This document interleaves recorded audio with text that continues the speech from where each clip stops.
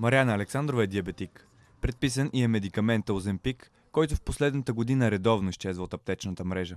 Днес тя разбира, че през следващите месеци отново няма да може да го открие. Някои хора не могат да контролират кръвната си захар без а, оземпик и подобните. Нали. Кръвната захар скача, гликирания хемоглобин скача и всъщност човек получава осложнения, когато няма терапия.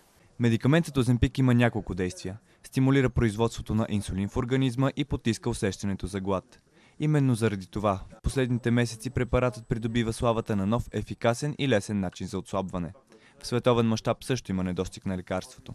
От миналата година всъщност основното предназначение на Озимпик всъщност се пренасочи от лекарство за лечение на диабет към лекарство за намаляване на телесното тегло и интереса към него се увеличи многократно. Обикновено искаме определена бройка и получаваме, да кажем, една четвърт или една пета от това, което сме поискали. В момента да изпитваме сериозна липса, недостатък на количество. За момента от здравното ведомство нямат решение на проблема с доставката на лекарството, а в позиция за новините ОНЕР заявиха.